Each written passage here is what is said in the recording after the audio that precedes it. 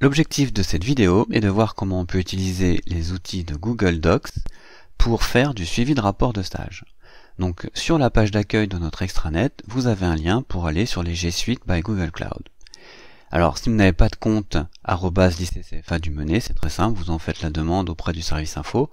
L'opération est faite en 5 minutes. Ici, vous avez donc la boîte mail, le Drive et Google Docs, Google Docs, Google Sheets, ça c'est un tableur, Google Slides, ça ce sont des diaporamas, Google Forms pour faire des formulaires, un agenda, on peut faire des sites, et puis même, on peut même faire du SketchUp en ligne. Alors ici, ce qui va m'intéresser, c'est Drive et Google Docs.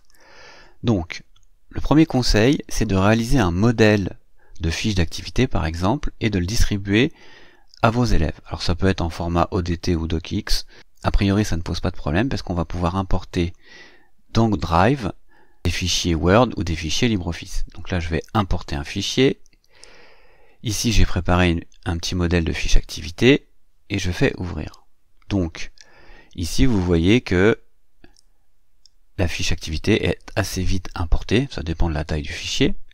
Ensuite, une fois qu'elle est importée, vous la retrouvez ici dans votre Drive. Si je clique sur ce fichier là, je fais bouton droit, je vais pouvoir l'ouvrir avec Google Docs. Donc il s'ouvre. Une fois qu'elle est ouverte, je vous conseille de, faire créer une copie à vos élèves. Donc chacun va se créer une copie qui va pouvoir nommer, c'est-à-dire ici par exemple fiche activité 1, et à la rigueur après il peut aussi mettre son nom. Et je fais OK. Donc ici, j'ai une première fiche d'activité que je vais pouvoir remplir.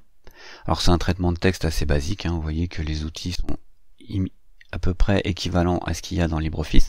Alors il y a un peu moins de choses, hein. par exemple là la numérotation des chapitres, c'est un peu moins aisé de le faire dans Google Docs. Donc l'élève travaille, ça s'enregistre automatiquement, ici il peut changer le nom du fichier à tout moment, et puis il peut aussi enregistrer des versions. Donc ça c'est très pratique, parce que si l'élève enregistre sa propre version et qu'ensuite le, collègue qui corrige enregistre la version du prof, l'élève pourra comparer les deux pour voir ce qui a été changé entre les deux. Donc ici, époque, je vais mettre avril 2019. Je vais dire que c'est un stage de deux semaines. Donc ça, je vais faire une version élève. Cette version, l'élève va la partager avec le prof, avec le bouton partager. Alors d'ailleurs, si c'était un travail à plusieurs, il peut aussi le partager avec les autres élèves de son groupe. Il suffit de saisir ici l'adresse mail de la personne avec qui on veut partager. Donc euh, par défaut, euh, je vous conseille d'utiliser les adresses lycée-cfa du. Après, dans Google, euh, dans les outils de Google, on peut aussi utiliser une autre adresse. Hein. Une adresse éducagris, ça doit pouvoir marcher aussi. Ici, je choisis ce que je vais pouvoir permettre de faire à la personne avec qui je partage. Donc soit elle pourra modifier, seulement commenter ou seulement lire le document. Donc vous, en tant que prof, vous avez au moins besoin de commenter, voire carrément de modifier le fichier des élèves. Donc là, je vais inviter, par exemple, Madame Lenoir pour lui permettre de modifier la fiche activité de cet élève. Alors elle va recevoir une notification comme quoi elle est autorisée à visionner ce fichier et à le modifier. J'envoie. Ensuite, quand Madame Lenoir reçoit ce fichier, donc elle, elle peut euh, bien sûr modifier des choses. Elle peut mettre ses remarques directement dans le fichier mais elle peut aussi ajouter des commentaires. Alors pour faire ça, soit je fais insertion commentaire, soit je fais le raccourci CTRL ALT M. Donc je me positionne sur l'élément que je veux euh, commenter et je fais CTRL ALT M. Et là, il y a un petit commentaire que je vais pouvoir laisser. Par exemple, ce n'est pas la bonne période. Alors l'élève, lui, il pourra euh, modifier, supprimer le commentaire une fois qu'il aura fait la modif demandée par le prof. Ensuite, une fois que le prof a fini de sa correction, il peut de nouveau lui aussi enregistrer une version.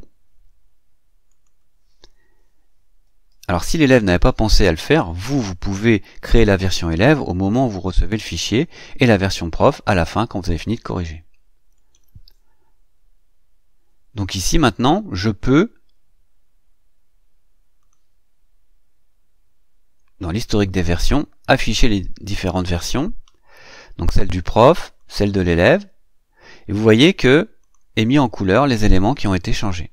Alors, il suffit de décocher la petite case en bas là pour enlever l'affichage des modifications.